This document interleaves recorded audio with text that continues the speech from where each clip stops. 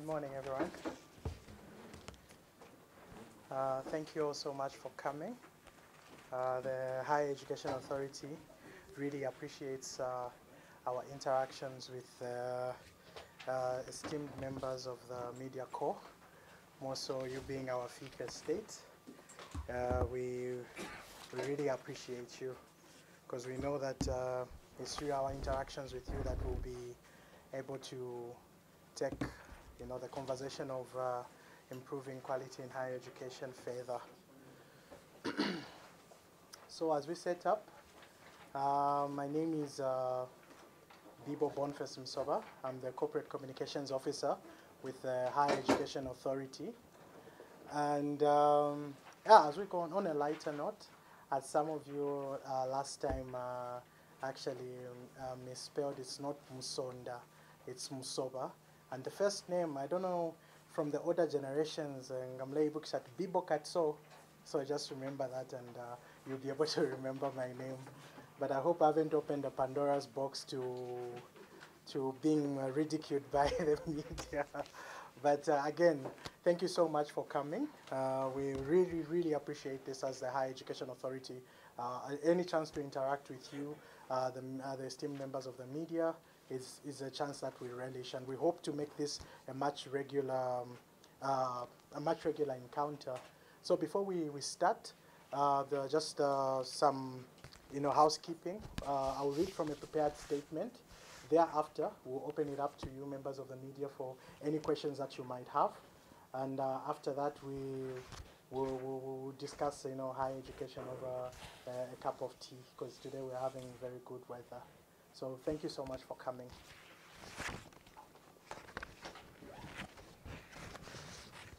So. You ready? Everybody's ready? All right, so we can begin. So this is a press release dated 5th February 2020.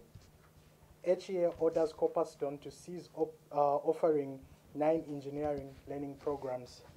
The Higher Education Authority has directed Copperstone University, a registered higher education institution with registration number HEA stroke 0302 with immediate effect cease offering the following named learning programs in engineering Bachelor of Building and Construction, Bachelor of Electrical Engineering, Bachelor of Elec El Electronics Engineering, Bachelor of Mining Engineering, Bachelor of Auto Mechanics, Diploma in Electronics Engineering, Diploma in Mining Engineering, Diploma in Motor Vehicle Engineering, and Certificate in Mining Engineering. This secession is according with the provision, this secession is in accordance with the provisions of Statutory Instrument Number 25 of 2016, Part 3, Section 10.1, which states that the, the proprietor of a higher education institution shall not offer a learning program for which it is not accredited. Following a joint inspection with the Engineering Institution of Zambia on Friday, 31st January 2020, HEA concluded that Copperstone should cease to offer the aforementioned learning programs until such a time that they are accredited by the authority. Consequently, the authority is urging all students at Copperstone that were enrolled in the aforementioned learning programs to enroll at alternative higher education institutions that have those programs accredited. Accordingly, all higher education institutions are urged to submit learning programs for accreditation to avoid the same consequences. Furthermore, in accordance with the provisions of Statutory Instrument Number 25 of 2016, Part 3, Section 15, the authority shall, by 31st March 2020, publish in a gazette and daily newspaper of general circulation all the learning programs it has accredited in all higher education institutions in Zambia. So that ends the, the prepared statement that we, we wanted to read from. at this moment in time, I'll open up the, to you, uh, the members of the media, if you have any clarifications or any questions about what, what, what we have just said. Yes, please. just uh, and as you speak, just your, your name and which institution you're representing. Okay. My name is Evan from Millennium Radio. Okay. Um, I to know how many students are affected from these nine uh, programs that have uh, actually actually ordered to, to stop. And uh, would you know how long this institution offered these programs? Okay, uh, thank you so much for that question. So with regards to that, uh, in terms of uh, knowing the exact number of students, we cannot, uh, as the Higher Education Authority, comment on that with full authority because we haven't yet started indexing the students. So once we start the process of indexing the students, that's when we'll be able to know exactly how many uh, students are enrolled in in each, in each given program. But at this point, uh, at this moment in time, all we can say is that uh, the students that are affected should, uh, we're advising them to enroll in uh, other higher education institutions that are offering the same programs, that are uh, offering the same programs that are accredited. So the key word there is accredited. Yes. And how long it, uh, this course existed at? Uh, we, we, we cannot fully ascertain how long it has existed, but we are still uh, having conversations with uh, Higher Education Authority, with the hi- uh, Higher Education Institution, Copperstone, and we hope that as, as we continue having those conversations together with EIZ, we'll be able to establish uh, what has been happening on the ground fully. Like I mentioned, on 31st uh, January, we, we conducted a joint inspection with EIZ, so a, a report on that, a, a thorough report on that is uh, forthcoming, and we'll be able to update the members of the media. Any other questions, please? Yes, please. Yes, um, also from Prime TV. Okay. Yeah, I'd like to find out uh, what procedure do you use to monitor these um, universities and uh, institutions of higher education to ensure that they're offering the programs which they are gazetted to offer? Mhm. Thank you so much for that. So, with regards to the procedures that we use, we use uh, two.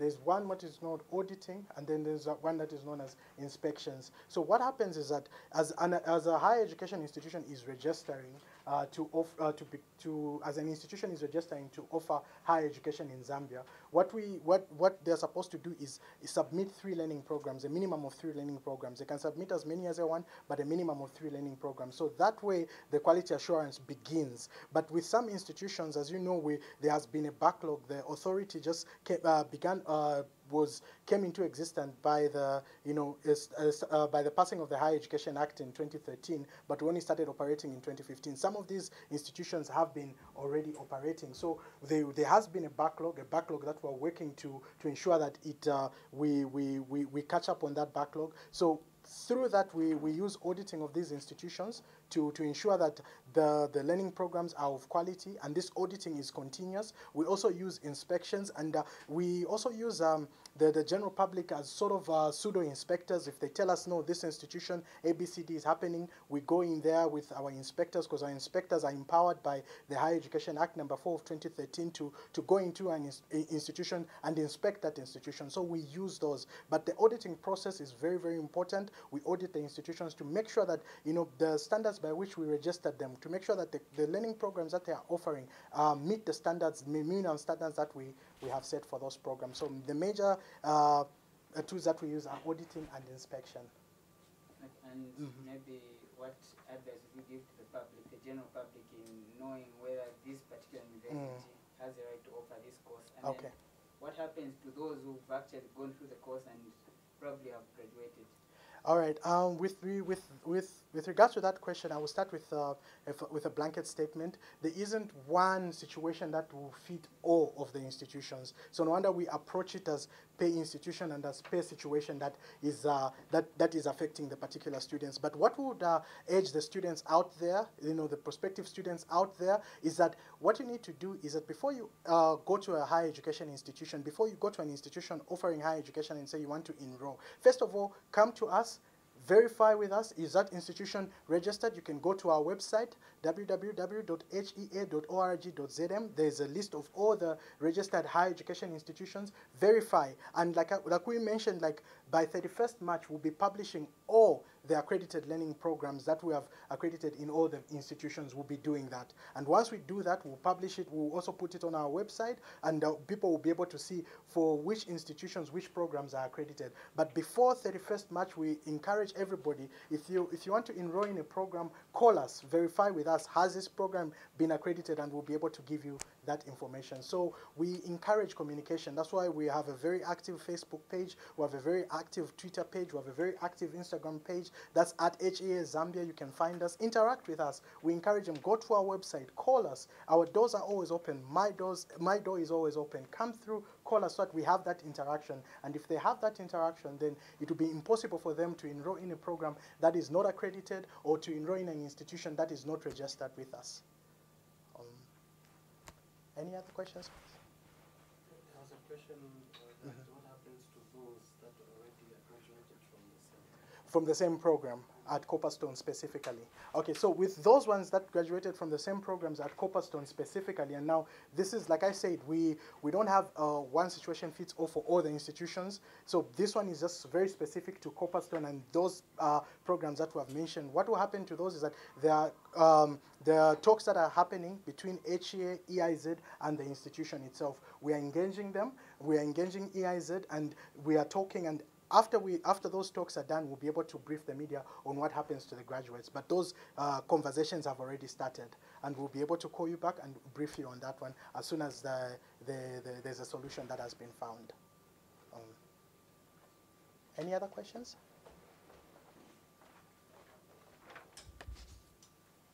Okay. So thank you so much, ladies and gentlemen, for coming.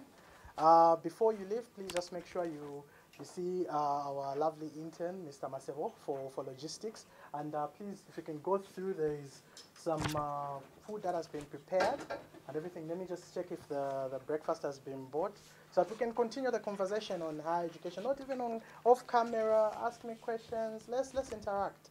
Thank you so much. You really make this easy for me, eh? Thank you. Yeah, thank you so much.